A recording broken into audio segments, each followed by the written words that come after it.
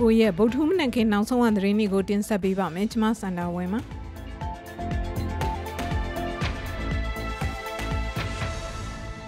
မြန်မာနိုင်ငံကရားပြည်နယ်မှာရက်သားတွေနေထိုင်ရာဒေသတွေစီကိုစစ်ကောင်စီတပ်တွေကမစင်မချင်းပြစ်ခတ်တိုက်ခိုက်မှုတွေကြောင့်လူတသိန်းနီးပါးအိုးအိမ်မဲ့ထွက်ပြေးနေရတယ်လို့ကုလသမဂ္ဂကမနေ့အင်္ဂါနေ့ကပြောပါရယ်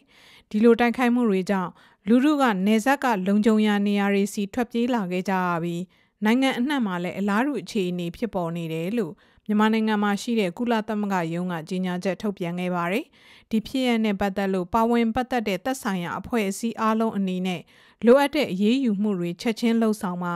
အရက်သားတွေနဲ့သူတို့နဲ့သက်ဆိုင်တဲ့အဆောက်အအုံတွေကိုအကာအကွယ်ပေးစောင့်ရှောက်ကြဖို့ကုလသမဂ္ဂကတိုက်တွန်းထားပါတယ်။ ဒါအပြင်ကရားပြည်နယ်နဲ့တခြားပြည်နယ်နဲ့တိုင်းတွေမှာလူသားချင်းစာနာမှုအကူအညီတွေကိုဓာတ်ရိုက်ဘေးကင်းစွာတွားရောက်ပို့ဆောင်ကူညီနိုင်မှုခွင့်ပြုပါလို့လည်းကုလသမဂ္ဂကတောင်းဆိုထားပါတယ်။တစ်ချိန်တည်းမှာချင်းပြည်နယ်မှာဆိုရင်မင်းတပ်မြို့ကိုစစ်အုပ်ချုပ်ရေးကြီးညာက စစ်ကောင်စီတပ်တွေကလက်နက်ကြီးတွေနဲ့အကြီးအကျယ်နှင်းညမပြတ်ပစ်ခတ်နေတယ်လို့မြို့နေသူတွေကပြောပါတယ်။ဒါအပြင်ချင်းပြည်နယ်ကတခြားမြို့တွေဖြစ်တဲ့ဟာခါကမ်ပက်လက်တီးရိန်တို့မှာလည်းစစ်အင်အားဖြည့်တင်းကပစ်ခတ်မှုတွေရှိနေပါတယ် မင်းတပ်မှာစစ်ကောင်စီတပ်တွေရဲ့လက်နက်ကြီးတွေနဲ့ပစ်ခတ်မှုကြောင့်ဒေသခံပြည်သူ့ကာကွယ်ရေး CDF မင်းတပ်တပ်ဖွဲ့ဝင်တွေတေဆုံးမှုရှိလာပြီးဒဏ်ရာရရှိသူအများအပြားရှိခဲ့တယ်လို့ဆိုပါတယ်။မင်းတပ်ကနောက်ဆုံးအခြေအနေနဲ့ပတ်သက်ပြီးပြည်သူ့ကာကွယ်ရေးတပ်ဖွဲ့ဝင်တူက BBC ကိုအခုလိုပြောပြထားပါတယ်။ လက်နဲ့ကြီးတွေနဲ့တောက်လျှောက်ပစ်တယ်ကျွန်တော်တို့ဘက်ကပေါ့နော်ပြီးတော့ရွာလေးအထိပေါ့နော်ပထမ3ရက်တိုက်ပွဲကတော်တဲ့ချောင်းထဲမှာပဲဖြစ်တာ哦ကျွန်တော်ကတော့မင်းတပ်မြို့ရဲ့တောင်ဘက်ခြမ်းရွာတွေမှာရှိတာအောင်ဆိုတော့သူတို့မင်းတပ်မြို့ကနေရွာတွေဘက်ကိုလာပြီးမှထိုးစစ်ဆင်တာပေါ့ကျွန်တော်ရဲ့3ရက်တော့ကတိုက်ပွဲတွေအကုန်လုံးကတော့မြို့နဲ့ရွာကြားတောတွေထဲမှာရှိတာဒါပေမဲ့မြို့ရဲ့နေချာရမင်းတပ်ရဲ့တောင်ကျောနဲ့ဒီရွာဘက်ကတောင်ကျောတောင်ကျောတော့ကပေးချင်းရှင်နေရှိနေတာ哦အဲ့လိုဆိုတော့မင်းတပ်မြို့ကနေပဲသူတို့လက်နဲ့ကြီးနေလက်နဲ့ထူတာ ဒီ3ရက်အတွင်းမှာဒီကျွန်တော်ဘက်ကတရားညာတော်တဲ့လူကိုဒီပေါ်ရောက်50လောက်ရှိမယ်40 50ဝန်းကျင်ရှိမယ်။ရောက်50ထဲမှာ45ယောက်လောက်ကလက်နေကြီးပုံစံမှန်တာပဲ။ဒီ3 4ရက်အတွင်းမှာကျွန်တော်ဘက်က6ယောက်9ယောက်လောက်ကြာသုံးသွားတယ်အကုန်လုံးကလည်းလက်နေကြီးထိလို့ကြာသုံးသွားတယ်လို့တဲ့ထဲပဲအကုန်လုံးကဒီလိုလက်နက်ကြီးတွေနဲ့ပြစ်ခတ်ခံနေရတော့စစ်ဆောင်ပြည်သူတွေရဲ့အခြေအနေကဘယ်လိုရှိနေပါလဲ။သူကအခုလိုဆက်ရှင်းပြပါဗျ။ လက်နဲ့ကြီးရောက်လူတွေတေးတာတန်ရန်ရတာပြင်အခုကတိချောင်သခန်းနေရပါချီချီနဲ့တိုးတဲ့တောင်ထဲတီကိုရွာရင်မရှိနေတယ်တွားဖို့ခုလိုမိုးရကြီးထဲမှာတွားဖို့ဘလုံးမမဖြစ်တော့ဘူးလူတွေကတော့စစ်စကောင်စီရဲ့ပြစ်တက်တာခံရမယ်သားတော့တိုးတဲ့တောင်ထဲမှာပဲတွားတည်မယ်ပုံစံနဲ့များနေတာပေါ့မင်းတပ်မှာစစ်ရှိန်မြင့်လာတာနှစ်ပတ်ကျော်လာပြီဆိုတော့နှစ်ဖက်အင်အားနဲ့တိုက်ခိုက်မှုအနေအထားကဘယ်လိုရှိပါလဲဟိုတနေ့ရပဲတစ်ချိန်ဒီမနေ့ကလည်းဒီနေ့တော့လေချောင်းတက်ခတ်မှုတော့မရှိတော့နေ့ကတိုက်ပွဲဖြစ် တော့သူတို့ဘက်ကအကြဆုံးနေတဲ့များတော့လေချောင်းနဲ့လာပစ်ကူတယ်တောက်တဲ့ကျတော့သူတို့ကတက်ကိုတက်မလာတော့တောင်းနေကြအမြောက်လက်နဲ့ကြီးနေပဲကျောက်ထုဘက်ကဖြစ်တယ်ပုံသေးရွာကလည်းဖြစ်တယ်မင်းတပ်မြို့ပေါ်နဲ့ဖြစ်တယ်အမြောက်ဖြစ်တယ်နေ3လေးနေရာလောက်နဲ့မနာရန်ဖြစ်တာပဲအခုလည်းသူမီကချိုးကိုင်းတဲ့လူအများစုကမောင်းပြန်မဲ့ကိုင်းနေဆိုတော့အော်ဘလို့မပြစ်ခွင့်မတာတော့ဘူးလေအဲ့လိုဆိုတော့ကျွန်တော်တို့မှာတန်ရာရာပြင်းကြလဲပြီးပြီးတီးလိုက်နေအဲ့လိုမျိုးဖြစ်နေတာပေါ့ဒီလိုလက်နက်ကြီးတွေနဲ့ဖိပြီးတိုက်ခိုက်ခံနေရတဲ့အနေအထားမှာရှစ်ဆက်ပြီးဘာတွေဖြစ်လာနိုင်ပါသလဲ သူကအခုလိုဆက်ပြောပြပါဗျဒီပုံစံတိုင်းဆက်ဖြစ်မယ်ဆိုရင်တော့တပတ်နှစ်ပတ်အတွင်းကတော့တကယ်အဆိုးဝါးဆုံးအခြေအနေပေါ့နော်အဲ့လိုမျိုးတွေဖြစ်နေမယ်အစာရည်တန်ငတ်ပြတ်တဲ့ပုံစံတွေကတော့ဖြစ်နေမယ် ဟိုမှာသိဆောင်တခါမျိုးတရက်ပြစ်ခတ်တာတော့မဟုတ်သေးဘူးဒါပေမဲ့ရက်သေးရွာလေးကိုကြာတော့တဲ့လက်နဲ့ကြီးရှိတယ်လက်နဲ့ကြီးတဲ့တနေကုန်ချနေတာပဲအင်းအင်းအင်းနဲ့ဘယ်သူမှသိမလုံးချုံတော့လေဆိုတော့ပြေးကြတာပဲပြီးတော့မင်းတက်တို့ပါလို့ဆိုတာကတောင်တောင်းတောင်မတ်တဲ့အရန်ပေါ်တဲ့အရန်မတ်သောက်တဲ့တောင်တန်းဒေတာတွေလေတဲသောက်တဲ့အိတ်တဲ့ခင်းတဲ့ဆိုတာလွယ်လွယ်ကူကူရှားလို့မရအောင်လေနော်အဆိုးဝါးဆုံးချိန်နေဆိုရင်တော့တော်ရတောင်ထဲမှာလူတွေပညောက်တေလောလောင်းနေဘလောက်ထပ်မလဲဆိုတော့ပဲကြားမယ်ဆိုတဲ့အခြေအနေဖြစ်မှာပဲ နှစ်ဖက်အကြဆုံးထိခိုက်မှုတွေတိုးလာတော့အကောင်းဆုံးအခြေအနေတစ်ခုဖြစ်လာအောင်ဘယ်လိုလှုပ်ဆောင်သွားဖို့ရှိပါသလဲလို့မေးမြန်းတဲ့အခါကျွန်တော်တို့အနေနဲ့ဒါအဆုံးဆုံးထိချင်းဆိုင်ဖို့ပဲ ဒီခေတ်မှာမွေးဒီချိန်မှာလူဖြစ်ရတယ်ဆိုတော့ဒီအလုပ်ကိုလုပ်ရတဲ့တဘောပဲ။ဟိုအကြိုက်ပုံမတရားပြောကျွန်တော်ခေတ်ကကိုပကုံးပေါ်တင်ပေးတဲ့တာဝန်ကြီးပေါ့။လူစိတ်ရှိတဲ့လူတွေဖြစ်တဲ့အတွက်ကြောင့်လူလူစဉ်းစားပြီးမှလူတယောက်လုပ်ရမယ်လို့ကိုကျွန်တော်လုပ်ကြတယ်ပေါ့နော်။ကျွေးလွန်သွားတဲ့ကျွန်တော်တို့ရဲ့အကိုတွေညီမတွေဒူလေးတွေမြေးလေးတွေအကုန်လုံးရှိတယ်။ကျွန်တော်တို့ဆက်လုပ်ဆရာရှိရလုပ်သွားမယ်။ကျွန်တော်တို့ကျွေးလွန်သွားရဆိုလည်းလူတွေလုပ်ဆက်လုပ်သွားမှာပဲဆိုတဲ့စိတ်နဲ့ပဲကျွန်တော်တို့ဆက်သွားနေကြတာပဲ။နောက်မြန်မာသတင်းတွေကိုဆက်ရရင်ပြီးခဲ့တဲ့ဇွန်လ10ရက်နေ့တုန်းက မုံရွာတပိတ်ကောင်းဆောင်ကိုဝေမိုးနိုင်ကိုစစ်ကောင်စီဘက်ကဆွဆွဲထားတဲ့အမှုတွေတဲက905ကကြီးအတွက်မုံရွာထောင်တွင်းကတရားရုံးမှာရုံးထုတ်စစ်ဆေးခဲ့ပါတယ်။ဒါဟာဒီအမှုအတွက်ပထမဆုံးရုံးချင်းဖြစ်ပါတယ်။ကိုဝေမိုးနိုင်အပေါ်ပုံမှန်10ခုနဲ့တရားစွဲဆိုထားတယ်လို့စစ်ကောင်စီပိုင်းမီဒီယာတွေကဖော်ပြထားပေမဲ့မိသားစုဝင်တွေနဲ့ရှေ့နေတွေကတော့ပုံမှန်905ကကြီးနဲ့302နဲ့395တို့နဲ့ပတ်သက်ပြီးသာသိရှိထားသေးတာဖြစ်ပါတယ်။ အပြည့်အစုံကို BBC သတင်းတောက်မနှင်းမို့ကကိုဝေမုန်းနိုင်ရဲ့မိခင်ကိုမေးမြန်းထားပါတယ်ရုံးထုတ်တာကမြို့နယ်မှာထုတ်တာလေ15ရက်နေ့မှာပြန်ချင်းထားတယ်ပေါ့နော်မြို့နယ်အဆင့်ကိုမပြီးပြတ်သေးဘူးပေါ့ဒီနေ့တော့တရလူလာတယ်လေပြီးခဲ့တဲ့ကျုံချင်းကတရလူမလာဘူးအဲ့တော့စစ်ဆေးတယ်လို့သိရပါတယ်ရှင်းနေပြီလေကိုမွန်းနိုင်တဲ့မှာထူးထူးခြားခြားအဖြစ်ရှာစရာမတွေ့ဘူးလို့တော့ရှင်းနေပြီကတော့ပြောပါတယ် ဟိုတခြားဒီပုံမှားတွေနဲ့အခြေအနေကရောဘယ်လိုရှိလဲအနီ3ရက်နှစ်နဲ့395နှစ်ကတော့တမီးရဲ့ KI ရုံးကြောင်နေပေါ့နော် KI တရားရုံးမှာ16ရက်နေ့မှာရုံးချင်းပြန်ပေးထားတယ်လေ3ရက်နေ့တုန်းကချိန်တာ3ရက်နေ့တုန်းက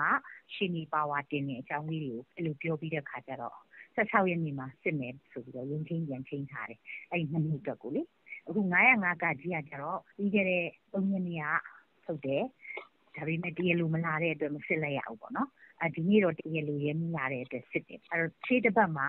15ရက်နေ့မှာ905ကကြီးကိုပဲ ထောင်ရင်းမြို့နယ်တရားရုံးပေါ့နော် အဲ့မှာပဲ ပြန်ရုံးထုတ်မယ်16ရက်နေ့မှာ3တင်းနဲ့395ကို ခရိုင်တရားရုံးမှာ စစ်ဆေးနေအဲ့လိုသိရတယ် တခြားပုံမှန်တွေနဲ့တော့ ဘာမှ မသိရသေးပါ တခြားပုံမှန်တွေကိုကအန်ဒီတို့ရောရှေ့နေရောဘာမှမသိရသေးတဲ့အခြေအနေမျိုးလားဘာမှမပြောပါဘူးရှင်ရှေ့နေတွေလည်းမသိပါဘူးဆွဲဆိုထားခြင်းရှိမရှိပေါ့နော်အဲ့လိုတော့မသိရသေးပါဘူးရှေ့နေတွေနဲ့လည်းကိုဝေမုန်းနိုင်တွေ့ရတော့သူ့ရဲ့ကျန်းမာရေးအခြေအနေနောက်ပြီးထောင်တွင်းမှာဆွဆွဲပြီးတော့မှအကျဉ်းချနေသူတူရဲ့ခွင့်ရေးတွေရနေရဲ့လားဒီအခြေအနေတွေရောအန်ဒီဘာများကြားရသေးလဲရှင်ရှေ့နေတွေနဲ့လည်းတင်ခွင့်ရပါတယ် ကျမကြီးလည်းကောင်းတယ်လို့လည်းသိရပါတယ်။ထောင်ဝင်စာလည်းအန်ဒီပို့လို့ရတယ်။ထောင်ဝင်စာမှာအန်ဒီစာလေးအိတ်ဖွင့်ပေးစာလည်း ပေးခွင့်ရတယ်ပေါ့နော်။သူ့ကိုတော့ဟိုသူ့စီကတော့ ပြန်ပြီးတော့ ပြန်စာမရပါဘူး။သူ့စာရဲပေါ်ပင်တော့ သူသုံးခွင့်မရှိသေးပါဘူး။ရှင်းနေနေတော့ဒီစကားပါလိုက်တယ်ဒီကျမကြီးကောင်းတယ်ဒီဘာတွေ ဘာတွေလိုအပ်နေတယ်ပေါ့ အဲ့ဒါလေးတွေပဲသူပြောခွင့်ရတယ်ပေါ့နော် တခြားအတွင်းထဲမှာ ဆုံးရှုံးမှုရှိတယ်လေမခွင့်ရင်းမရတာဘာညာရှိတယ်လေဘာညာဆိုတာတော့တိတိကျကျအလိုမသိရပါဘူး။ပြန်မြင်သူအစိကြီးပါတယ်။စမိုင်းလည်းကောင်းပါတယ်။အလိုစကားလေးတွေပဲသိရပါတယ်။စီးပွားရေးသတင်းတစ်ပုဒ်ကိုပြောပြရရင် NLD အစိုးရလက်ထက်ကပြောင်းလဲခဲ့တဲ့ဗန္ဒာရေးနှစ်ကိုပြန်လည်ပြင်ဆင်ဖို့စစ်ကောင်စီဘက်ကစီစဉ်နေပါတယ်။ကိုရိုနာဗိုင်းရပ်စ်ကူးစက်မှုတွေကြောင့်ရောအာဏာသိမ်းမှုတွေကြောင့်မှစီးပွားရေးမတည်မငြိမ်ဖြစ်နေချိန်မှာ ဘတ်ဂျက်ပါထပ်ပြီးပြောင်းရင်ဘလို့တက်ရောက်မှုတွေဖြစ်ပေါ်လာနိုင်ပါသလဲအပြည့်အစုံကို BBC သတင်းတောင်ကိုနန္ဒာကစူးစီးပြောပြပေးမှာပါအမျိုးသားဒီမိုကရေစီဖွဲ့ချုပ်အစိုးရလက်ထက်မှာဗန္ဒာနှစ်အစကိုဧပြီ၁ရက်ကနေအောက်တိုဘာလ၁ရက်ကိုပြောင်းလဲတတ်မှတ်ခဲ့ပါတယ်။ဒါနှစ်ပေါင်း40ကျော်အတွင်းပထမဆုံးအချိန်ပြောင်းလဲခဲ့တာဖြစ်ပြီးလာပေါင်းများစွာအချိန်ယူပြင်ဆင်ခဲ့ရတာပါ။လက်ရှိချိန်မှာအရေးပေါ်ကာလတစ်နှစ်တောင်ယူထားတဲ့စစ်ကောင်စီအနေနဲ့ဗန္ဒာနှစ်ကိုပြန်ပြောင်းမှုဇွန်လ9ရက်ကပြုလုပ်တဲ့အစည်းအဝေးမှာဆွေးနွေးခဲ့ကြပါတယ်။ စီးပွားရေးလုပ်ငန်းရှင်တွေဘက်ကတော့ဘဏ္ဍာနှစ်ကိုမကြာခဏအပြောင်းလဲလုပ်တဲ့အပေါ်သဘောမတွေ့ကြပါဘူး။စီမံကိန်းစီးပွားရေးသုတေသီဦးခိုင်ဝင်းကသူ့အမြင်ကိုအခုလိုပြောပါတယ်။ဒီလိုအပြောင်းလဲဆိုတာတေချာပြင်ဆင်ပြီးမှလုပ်ရကိစ္စတွေဖြစ်တယ်ပေါ့နော်။ဆိုးရတွေလုပ်ခဲ့လို့အကုန်လုံးဖြစ်လို့မကောင်းတာပေါ့။တခါနောက်တစ်ယောက်ထပ်တက်မယ်နောက်တစ်ယောက်ထပ်တက်ရှစ်တစ်ယောက်လေးပါလို့ထပ်ပြီးလုပ်ဒါမြန်မာနိုင်ငံရဲ့စီးပွားရေးကလည်းဘယ်တော့မှတည်ငြိမ်ပါလေ။ဒါကိုထိရှလွယ်ဖြစ်နေတဲ့အခြေအနေဖြစ်တဲ့အတွက်တော့ဦးစားပေးလုပ်ရမယ်လို့လို့မထင်ဘူး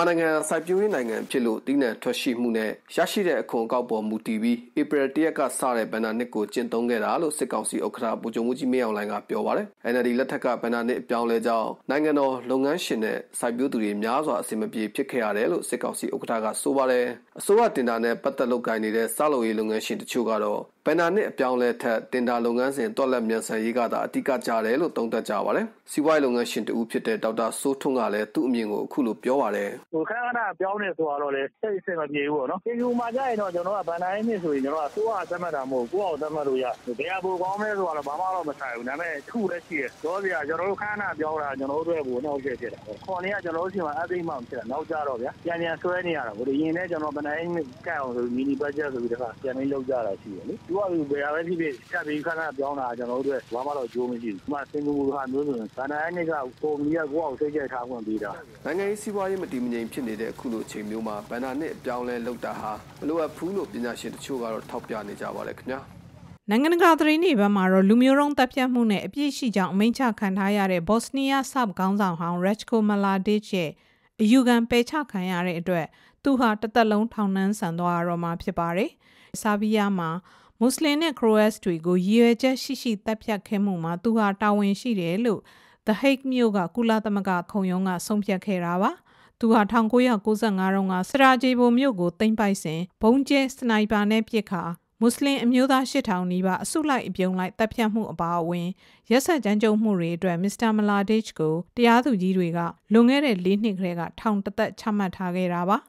သူလုံရဲ့ကြောင့်ထိခိုက်နစ်နာခဲ့ရသူတွေရဲ့ဆွေမျိုးမိသားစုတွေကတော့ တရခွင်မှာသူ့ထံကတစုံတရာတောင်းပန်စကားမကြားရတဲ့အပေါ်စိတ်ပြတ်မိတယ်လို့ဆိုပါတယ်ဘင်္ဂလားဒေ့ရှ်နိုင်ငံမှာလူကုန်ကူးမှုနဲ့ပတ်သက်လို့ဆက်လက်စုံစမ်းစစ်ဆေးနေရမှာနောက်ထပ်လူနှစ်ယောက်ကိုထပ်ဖမ်းလိုက်တဲ့အတွက်ဒီကိစ္စနဲ့ပတ်သက်ပြီးထိမ့်သိမ်းထားသူပေါင်း17ယောက်ရှိသွားပြီလို့အာဏာပိုင်တွေကပြောပါတယ်။သူတို့ဟာ TikTok လူမှုကွန်ရက်ပေါ်ကနေမိမငယ်လေးတွေကို model အလုပ်ပေးမယ်ဆိုပြီးအိန္ဒိယနိုင်ငံတောင်ပိုင်းကလိန်ဖြောပြေးရေးလုပ်ငန်းတစ်ခုမှအသုံးချခဲ့တယ်လို့ဆွဆွဲခံနေရပါတယ်။ အမျိုးသမီးငယ်လေးတယောက်လိမ်ပိုင်းဆိုင်ရာမတရားပြုကျင့်ခံရတဲ့ဗီဒီယိုတစ်ခုထွက်ပေါ်လာပြီးနောက်မှာပြီးခဲ့တဲ့လတုန်းကစပြီးဒီစုံစမ်းစစ်ဆေးမှုကိုစတင်ခဲ့တာပါ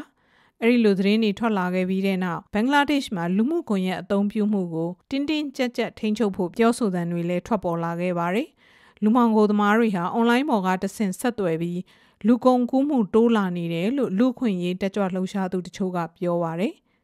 မနေ့ကကစားခဲ့တဲ့ယူရို2020အကျိုးဥရောပခြေစမ်းပွဲတွေမှာစပိန်ကလီသူယေးနီးယားကို၄ဂိုးကိုမရှိနဲ့ချက်သမရနိုင်ငံကအယ်ဘေးနီးယားကို၃ဂိုးတကိုးနဲ့အနိုင်ရခဲ့ကြပါတယ်။တခါပိုလန်နဲ့အိုက်စလန်တို့ပွဲမှာ2ဂိုးစီတည်ကြခဲ့ပါတယ်ရှင်။